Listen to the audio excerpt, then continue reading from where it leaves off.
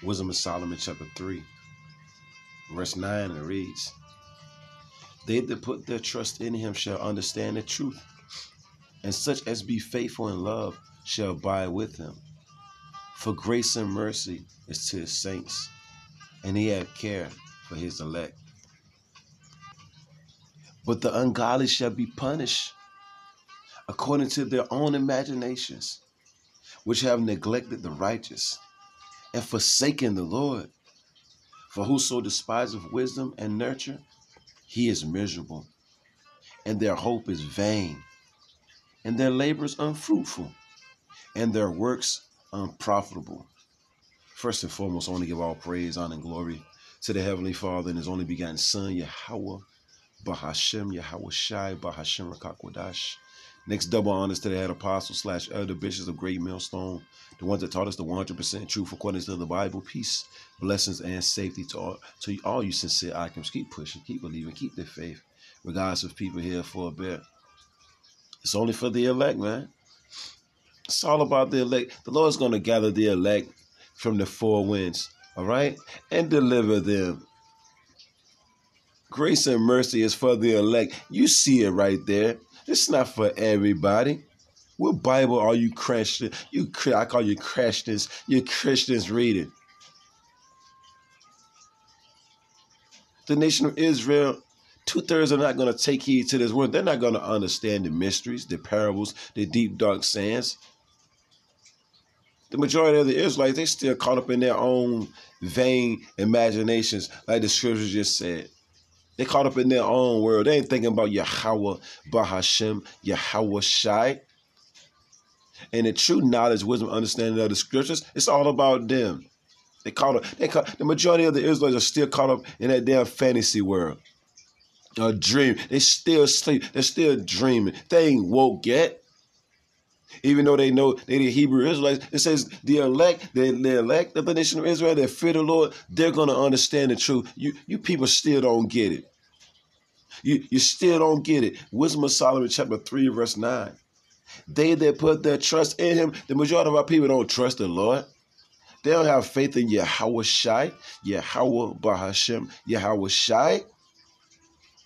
But the Israelites that fear him and that trust him, they do. They understand the truth and such as be faithful in love shall abide with him. Shall stand with the Lord, and grace and mercy is to his saints, which are the Israelites. But blah, blah, blah, but and he have care for his elect. The Lord only cares about the elect on this side. And I'm reading it right here. And this ain't no private interpretation. I'm reading what the scriptures are saying. It's really breaking itself down. I don't even really need to say nothing. Only thing I need to do is just read it. It's breaking itself down. And while we up under this grace period, the elect is getting their acts together to the best of their ability. Ability. They're offending less, doing the things that are pleasing to the Lord. But to the ungodly, that's what you mainly see on the face of the earth, the ungodly. And it's going to be a beautiful thing to see the Lord bring misery upon you prideful people. It's going to be beautiful. It's going to be fearful. It's going to be beautiful at the same time. You see the Lord bring misery upon you prideful ass people. Mainly two thirds of you Israelites and you heathens too, man. You proud ass heathens, especially you die head East Indians, man. Y'all are proud as shit. All these heathens, man but the ungodly shall be punished. I thought the God the Bible was all about love, though, right? So why is he saying he's going? And it says in um, Isaiah the 13th chapter, he's coming to punish the wicked people for their wicked deeds. You evil, wicked people, man. Why should the Lord continue to let you live another day on earth? What, what type of fr- beautiful fruits are you producing? You see. But as the scriptures say, um, a wicked tree is not going to bring forth good fruit. But the ungodly shall be punished, punished, man, according to their own imaginations, your wicked, vain thoughts, right? Which have neglected the righteous, the elect, the men that was out there teaching this 100% truth according to the Bible, you neglected them. and look and forsook the Lord. Two thirds they turn their backs on Yahweh by Shem Yahushai for, for the world. When the scripture say, Love not the world, nor the things that's in the world. We use the world, but we don't abuse it. So we have to go to work and things of that nature. It says, For whoso despises wisdom and nurture, he or she is miserable. They can smile all they want. But these people are literally catching hell, but they're trying to keep a smile on their face. They, they really think you really think you can make it through this world without the Lord? Are you serious? It's the Lord that's bringing all the evils. Should there be evil in the city and the Lord have not done it? He is miserable. Their hope is vain. Because why? They put their hope in man. They put their hope in Babylon, a fallen city. They put their hope in their enemy. So you know it's all vain, empty. Their labors unfruitful, and their works unprofitable. So no matter what endeavors you into, whether it's the crypto, whether you got four, five jobs, no matter what you into, look, it's, it's all it's all gonna be unprofitable at the end of the day, right? They're wise, foolish, and you see that, and their children wicked as hell. You see? And, and it is what it is. The Lord only cares about the elect on this side. Matter of fact, let's get to St. Matthew. The 24th, just something quick. I'm about to head out, go get this daily bread. And, we, and most definitely, we're one day closer to Israel. Just hold on. The Lord tells me this each and every day. Keep holding on, keep pushing. One, one day closer. Let's get this. St. Matthew chapter 24. St. Matthew chapter 24. Let's get this. Verse on, was it 30? Yeah. Because when we make a statement, we got to back it up with a scripture. We say it's all about the elect right now. Only the elect is going to get delivered from the four winds of the earth. Then we're going to prove it according to the Bible. St. Matthew chapter 24, verse 30. It, ain't, it's everybody, all Israel, all Israel. We're going to see what the, in this red letter, we're going to see what the Lord got to say. Then shall appear the sign of the Son of Man, Lord Yahweh Shai in heaven. You see? Coming from the sky, right? And then shall all the tribes of the earth mourn. This is not going to be a peaceful day for the majority of you people on the face of the earth. And they shall see the Son of Man, Lord Yahweh Shai, our Savior, our Redeemer, coming in the clouds, the chariots, the spaceships of heaven with power and great glory. And he shall send his angels with a great sound of a trumpet. And they shall gather together his what? His what? And they shall gather together his what? His elect, the ones that trust in him, the ones that fear him, right? We read that earlier, right? And he shall gather together his elect of the nation of Israel from the four winds. We read that, right?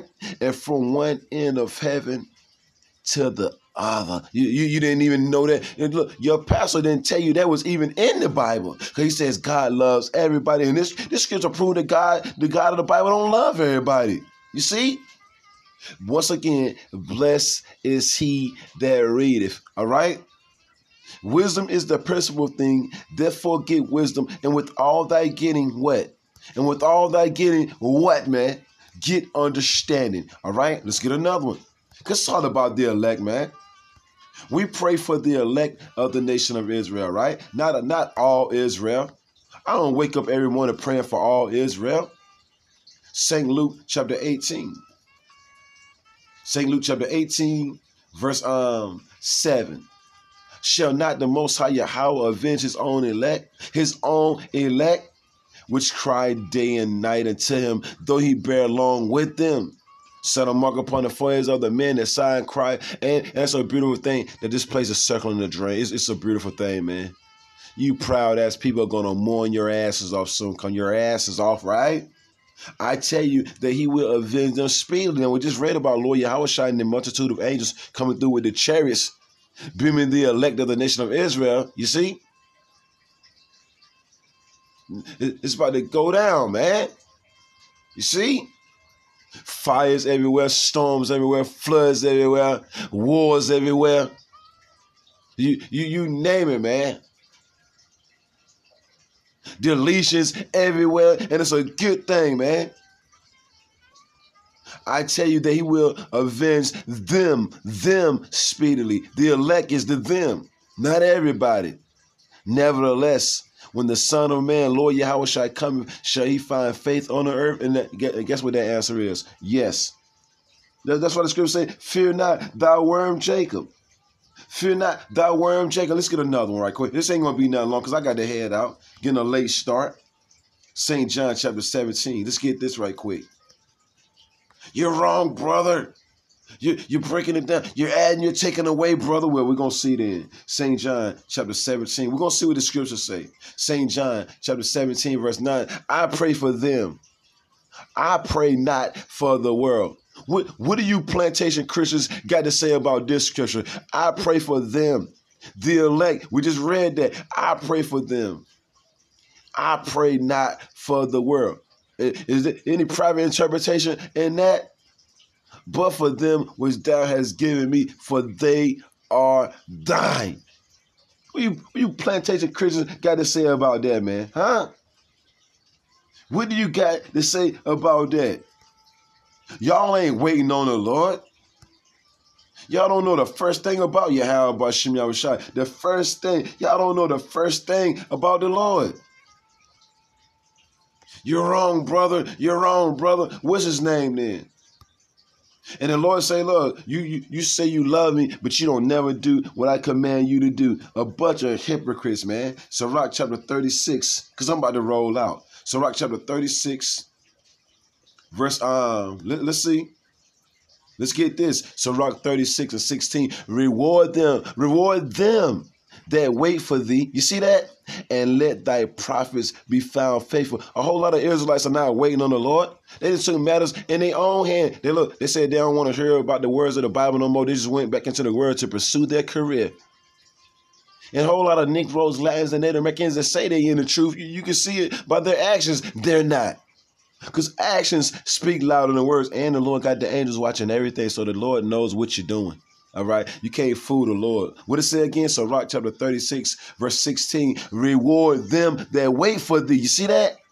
Reward the Israelites, the elect of the nation of Israel that wait for him. You see? And many scriptures goes into that. And let thy prophets be found favor. Remember we read earlier? Shall he find faith on the earth? Yes, he's going to find faith in the earth because Yahweh Bahashim Yahushai is going to keep that faith within the elect of the nation of Israel.